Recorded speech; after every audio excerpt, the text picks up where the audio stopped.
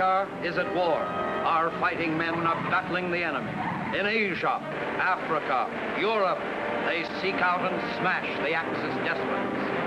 Yet the news is full of other warfare here at home.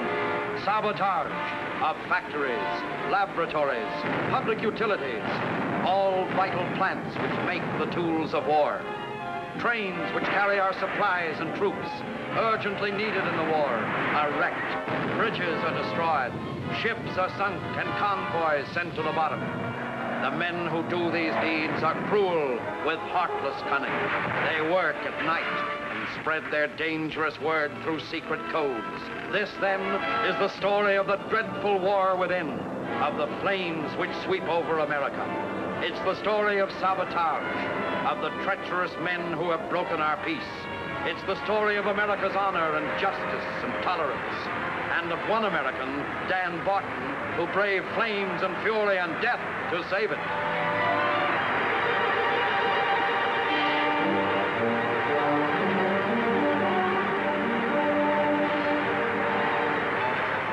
What's the lowdown? Sabotage? One note the arson squad checks up.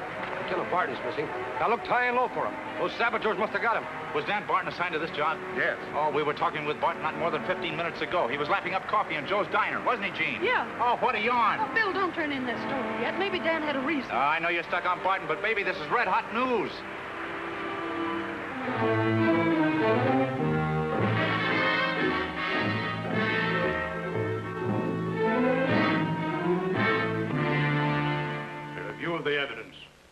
Fact that Lieutenant Barton has persistently refused to explain his absence from his post leaves no doubt in the board's mind that he is guilty of deliberate neglect of duty as charged. Were we at peace and not at war with a treacherous, vicious enemy, I would be inclined to be lenient because of Barton's previous record. This I cannot do. I have here a communication from Mr. Stover in Washington. He's insistent we make an example of Barton. I knew there was something phony about this hearing. You're not making any official decisions, Commissioner. You're just an office boy taking orders from Stover, the publicity crazy big shot. Go ahead, throw me off the force. I'm through looking after other people. From now on, I'm looking after Dan Barton. Here.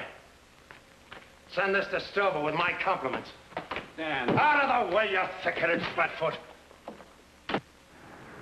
Read all about it. Dan Barton fired from force. Commission rules Barton guilty. Extra. Barton guilty.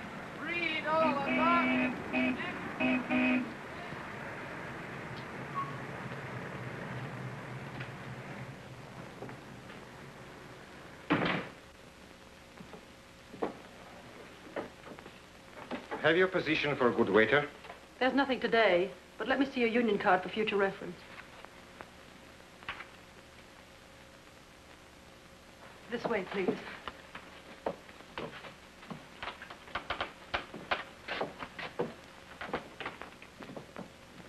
Gentleman you were expecting, sir.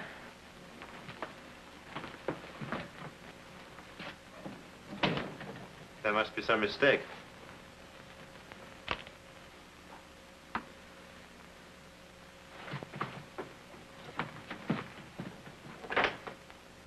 Excuse my suspicion. We cannot be too careful. Not at all. I appreciate your caution. The Fuhrer sent me from Berlin with orders to aid you in your great work. But surely this little office is not headquarters. Oh, naturally not. Sit down. I'll take you there.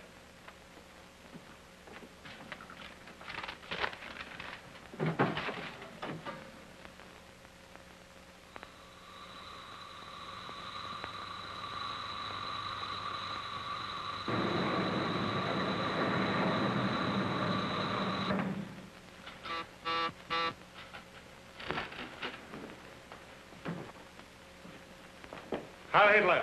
Hi, Hitler. Gentlemen, Herr Felton has just arrived from Berlin. Did you have any trouble getting into this country? The American Coast Guard is extremely vigilant. We had considerable difficulty getting our submarine past them. Secret code.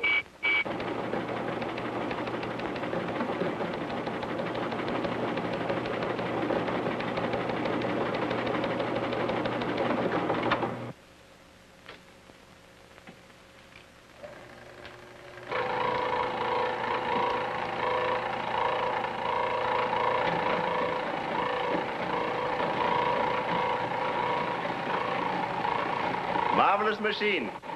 Decodes 20 times faster than the best manual operator. Bad news from Washington.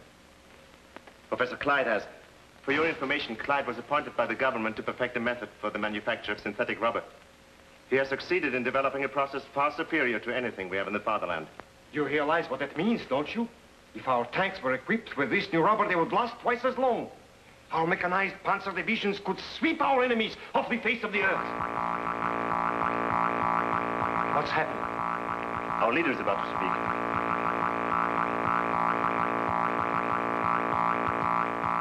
Heil Hitler! Heil Hitler! Heil Hitler, do not let the matter of Professor Clyde disturb you. We'll attend to him at the proper time. You are all to be commended for your skill in bringing Project 41 to a successful conclusion. My latest information is that the Southgate munitions plant is a smoking ruin. Herr Felden, your arrival is most opportune. We shall have much work for you as Tyson's assistant. All of you must continue this work for the fatherland. The day will soon come when our Fuhrer will dictate the terms of peace from the White House.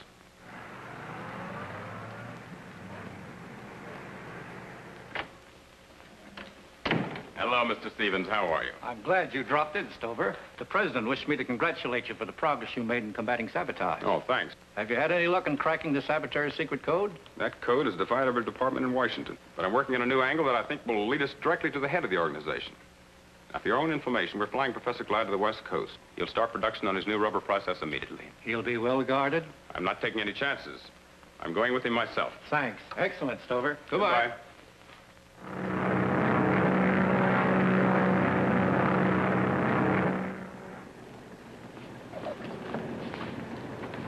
Hello, Clemmy. How are you? Fine, fine, fine. Sorry, I can't make it. One more, please. Don't tell me the great Stover hasn't time to talk to reporters. Windbag Stover. The man with two hobbies, getting his picture in the paper and framing people. You want a headline? Well, how's this? Dan Barton socks Stover and nose. Dan, for the love of sanity, what's wrong with you? Aren't you in enough trouble already? When I want advice from you, I'll ask for it. Well, that's no way to talk, Dan. We're only trying to help. I'll go peddle your papers. Dan, we've been friends a long time, but this is the end. Get your things out of the apartment before I throw them out. I'm sorry, sir. I didn't expect that from him. Don't let it worry you, Sergeant. There's a car waiting outside. We're stopping at the Garland Hotel, sir.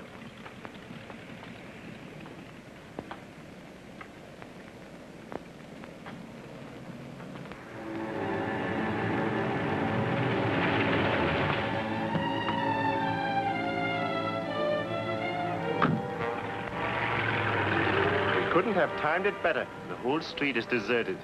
Where do we go? In the alley. The professor's room opens directly on the fire escape at the third floor.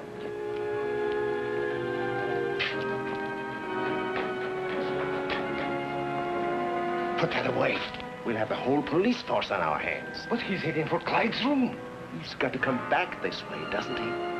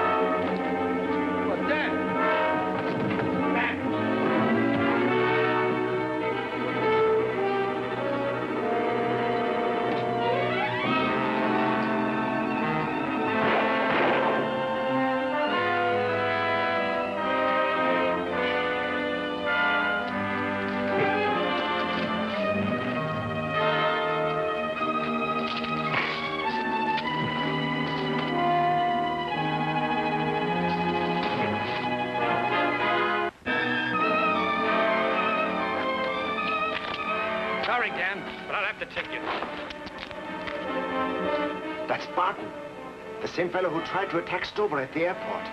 Do you think that the leader cares about him? Or he wants the synthetic rubber process? Yeah. As soon as they leave, we'll have to explain to him why we didn't get it.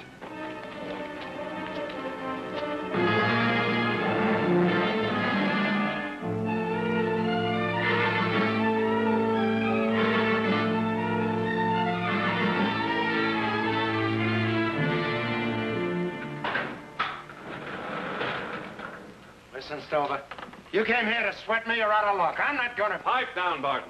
You better let me stay and keep an eye on him, Mr. Stover. It won't be necessary. I've handled tougher ones than this. I'll let you know when I want to get out. Barton, I'm not going to waste any time on you. You're going to sing and sing loud. I'll get the truth out of you if I have to beat it out of you with a club. Dan. Hello, Chief. You certainly made a tough egg out of me. Well, I had to, Dan. There's still time to call it off if you want. Not on your life. When you gave me this job, you said it had to be done. I'm sticking with it until I hook up with these Nazis and find out their secret code. Good. But remember, you'll have to break all the rules. Pull crooked deals, even help them with the dirty work, until you accomplish your purpose. I made a pretty good start, haven't I? Did you plant that story about the missing papers? Yes, every sheet in town covered it. Good. That ought to draw them to me like flies when I break out of here. Where can I meet you? I'll be at the Lake Cottage. Take care of yourself, Dan, and good luck. Take care of yourself, Chief. I'm in a spot if anything happens to you.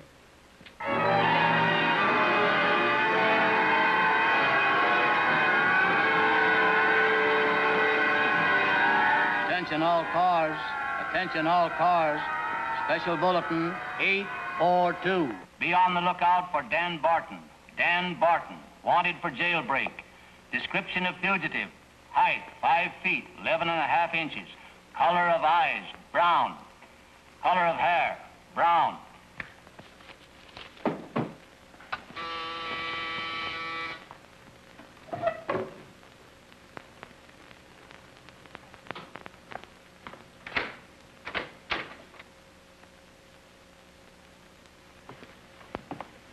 The radio.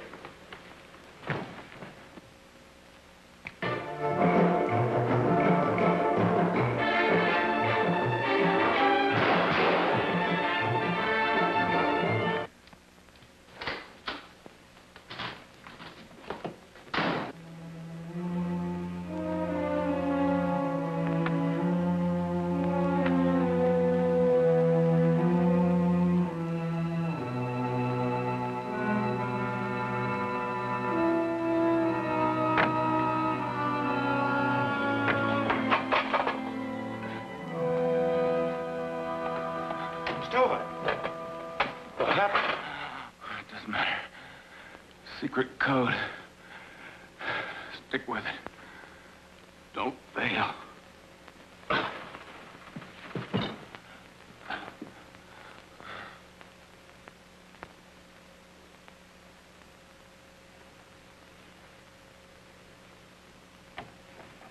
You didn't waste any time. Good evening, Lieutenant Barton. Who are you? Shall we say just innocent witnesses to your brutal murder of this unfortunate man? Well, it looks like you beat me to it. It will be very difficult for you to make the police believe that. Put your hands flat on the desk. Do it carefully so your fingerprints will be clear.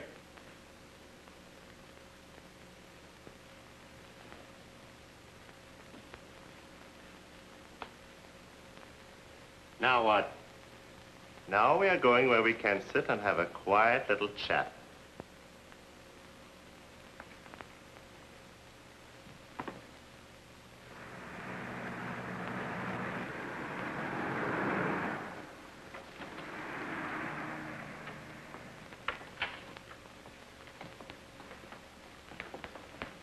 Yes, sir. You have a good book on preparedness? Right this way.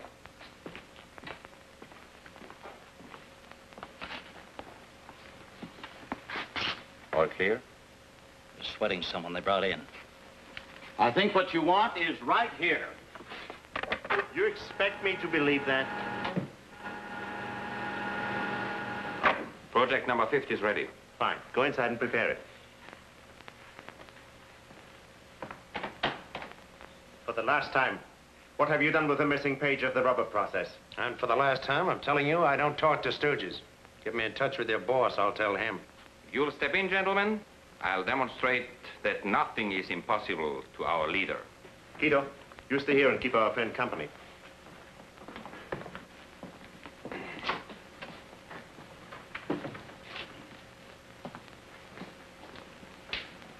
Professor Clyde has been given a laboratory at the Richland Oil Refinery. The entire plant is surrounded by the new listening wire fence that is considered impassable. Well, for the purpose of demonstration, these wires represent the fence, and on the desk is a miniature of the indicator installed at the guardhouse of the plant. Approach to any section of the fence is instantly reported on that indicator.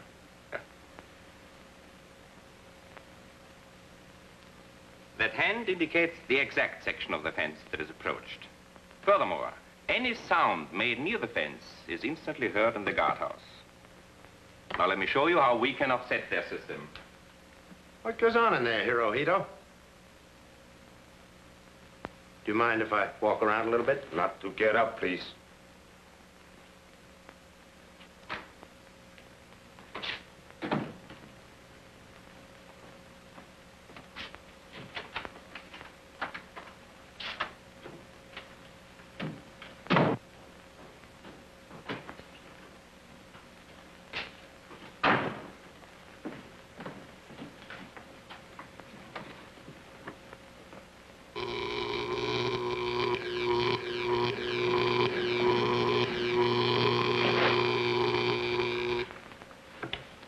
Yes?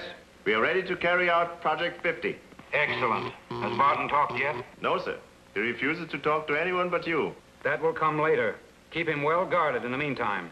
It's important we get those other papers of the rubber process. Don't worry, sir. I don't think he'll do very much moving around for the next five or six hours. Hi, Hitler.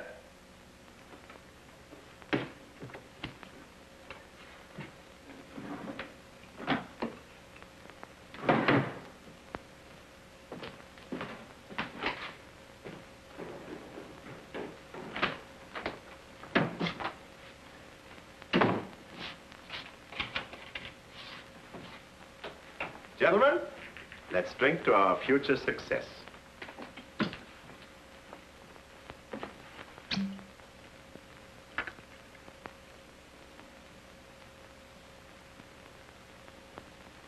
Guido?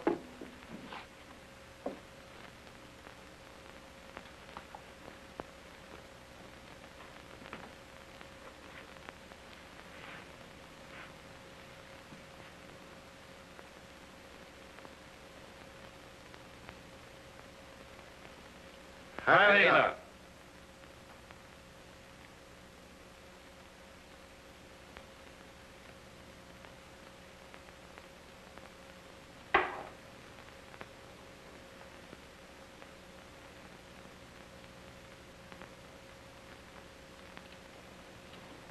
Poor fellow. He doesn't seem to hold his liquor very well.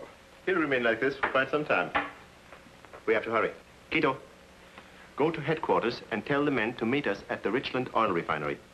Keep under cover on your way there. These Americans are very unimaginative about their prison camps.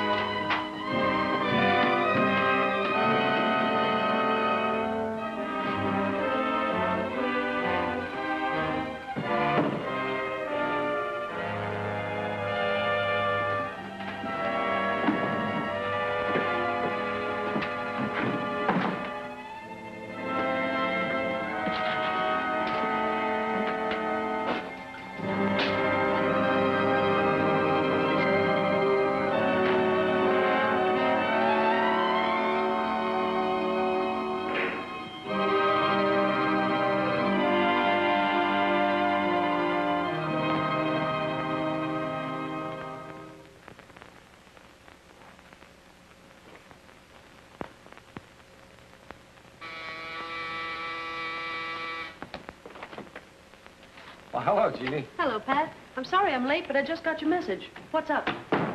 I'm packing up all Dan's things. I gotta take him over to the office.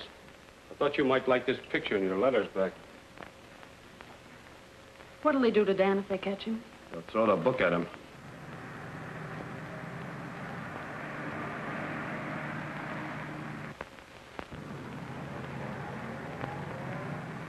Well, what on earth is that? So that? That's something Dan and I was working on. A uniform for night fighters like those British fellows, the commanders. You mean commando? Hmm, commandos, commanders, it's all the same to me. Well, I've got to get back to the paper, but I'll keep in touch with you. Fine. Oh, Pat, tell me something. What would you do if you ran into Dan right now? I've been thinking about that. Last night I did my duty and took him in. All day I felt like a Judas. But if I saw him now, I'd take him in again. Well, you're an honest cop, Pat, and I admire you for it. Good night. Good night, Jeannie. Did you mean that about taking me in? Dan. Yes, I'm meant it. Dan, you're under arrest. Hold it. Stop, Dan, or I'll shoot. I'm not stopping. Don't be a fool. Listen, Pat. You caught me pulling a clumsy burglary. I didn't have to be caught. You ought to know that. I did it on orders from Stover. Why? Because he wanted me to be discredited, so that I could get on the inside with these spies and saboteurs who were trying to wreck the country. But Stover told me that. He can't. He's dead. Murdered. Oh, Pat, you've got to believe me. The men who killed Stover are part of the gang we're after. If you were to take me in now, it would ruin everything. My only chance of clearing myself is to round them up, including their leader. Right now, they're on their way to the Richland oil refinery. Professor Clyde's out there working on that synthetic rubber process. What's that got to do with us? Well, don't you see? We've got to stop them. I came here for your help. And for that commando outfit. Pat, after all these years together, don't you believe me? Don't you trust me? It's no use, Dan. I gotta take you in. Well, you'll have to shoot first. Because I'm not going in any other way. I can't do it. I gotta believe you. Good. You won't have any doubts when we stop those ratsies at the refinery. I'll explain everything as we go along.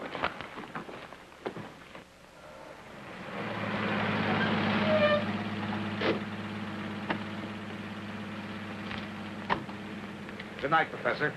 Good night. Here's your cab, sir. Thank you.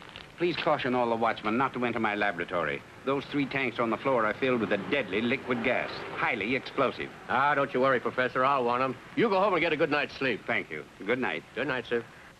It will start in 30 seconds. You stand by here. All right, men. The gate.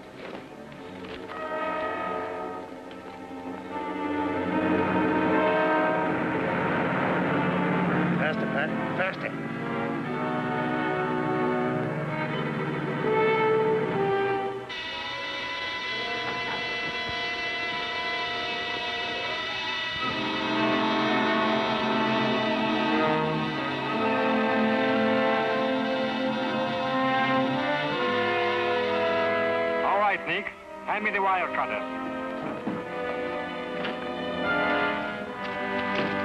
The break at post 14. 14? That's right.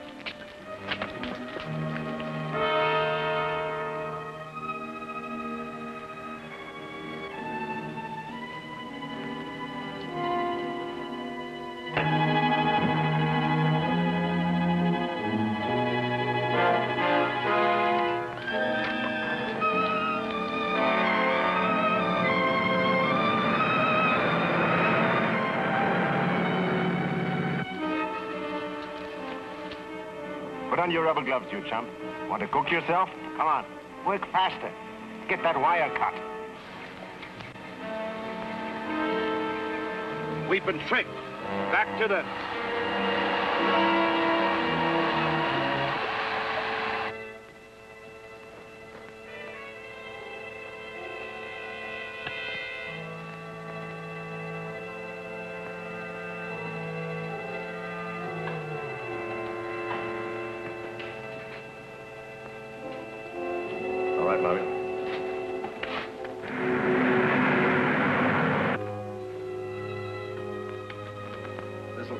safe like a hot knife through butter.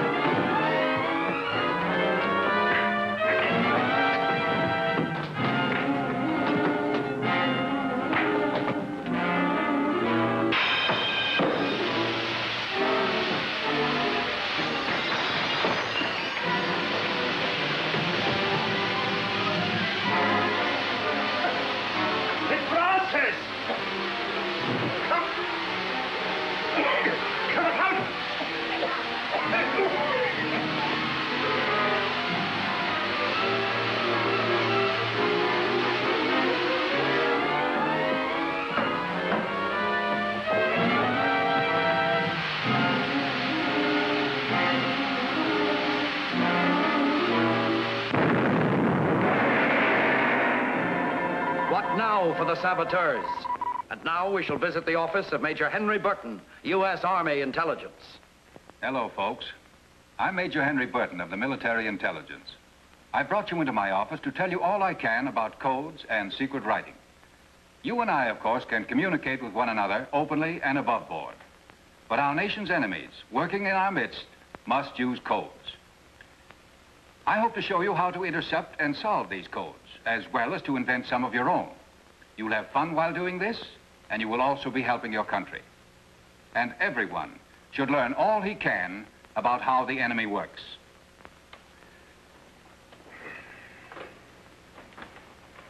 In working out codes, we have found that certain letters in the alphabet appear more frequently than others. Thus, in every message of 100 letters, E will appear approximately 13 times. T will be found about 10 times, and so on.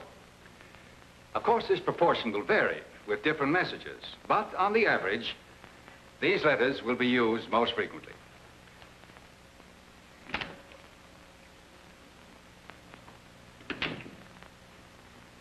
Now here we have a secret code message which was intercepted by one of our men. Let's try to solve it by using our frequency chart. Taking note that the letters J, F, and Y are used most frequently. Now, one of these should represent E. The other two are apt to be either T or A. Now, everyone interested in either making or solving secret codes should have a set of slides similar to these.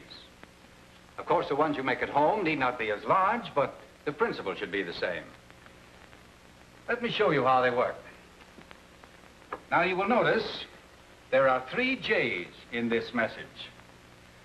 Now, we always assume, remember, that the letter used most frequently in any code message is E. Now, in this message, there are other letters which appear as frequently as the code J. But we've got to start somewhere, so we might as well assume that J is meant to be E.